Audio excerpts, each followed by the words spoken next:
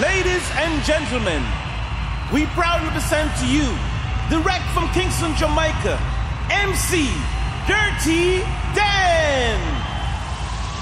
Let's put our hands together and welcome the master of ceremonies, MC Dirty Dan.